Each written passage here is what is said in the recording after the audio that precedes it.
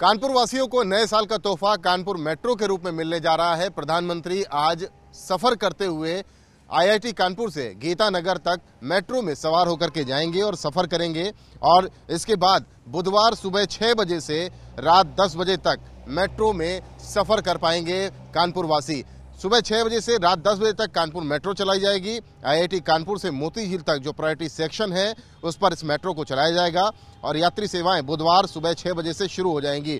शुरुआत में QR code से टिकट की सुविधा होगी। इसके बाद लोगों के लिए स्मार्ट कार्ड सुविधा भी शुरू की जाएगी। इसी के साथ यूपी एमआरसी यानी Uttar Pradesh metro rail corporation, आने वाले दिनों में गो स्मार्ट कार्ड भी पेश करेगा, जो एकल यात्रा पर दस फ़ीसदी की छूट, यानी दस प्रतिशत की छूट आपको प्रदान करेगा।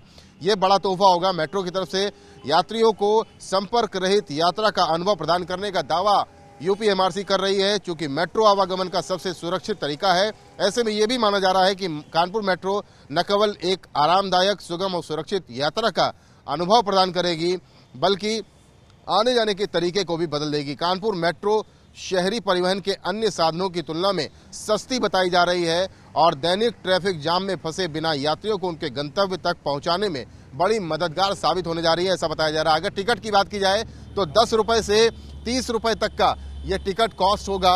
और जब प्रायोरिटी सेक्शन आगे बढ़ेगा तो कॉस्ट और बढ़ाई जाएगी। लेकिन फ़िलहाल 9 किलोमीटर का जो सेक्शन होगा, अगर आपको बताएँ आईआईटी कानपुर से जब आप चलेंगे तो कल्याणपुर मेट्रो स्टेशन उसके बाद एसपीएम हॉस्पिटल का मेट्रो स्टेशन है, फिर विश्वविद्यालय का मेट्रो स्टेशन है, उसके बाद गुरुदेव चौराहा है, उसके बाद डिपो पड़ता है, लेकिन मेट्रो स्टेशन अगर आगे बात की जाए गीता नगर है, रावतपुर है एल हॉस्पिटल है, और उसके बाद मोती झील मेट्रो स्टेशन आपका सफ़र इस तरीके से रहेगा। नौ मेट्रो स्टेशन, नौ किलोमीटर और दस से तीस रुपए आपको इस परिवहन के लिए, इस सुगम यातायात के लिए खर्च करने होंगे।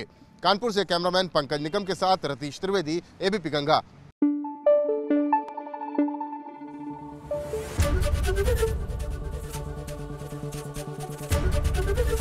एबीपी गंगा, खबर आपकी जुबा आपकी।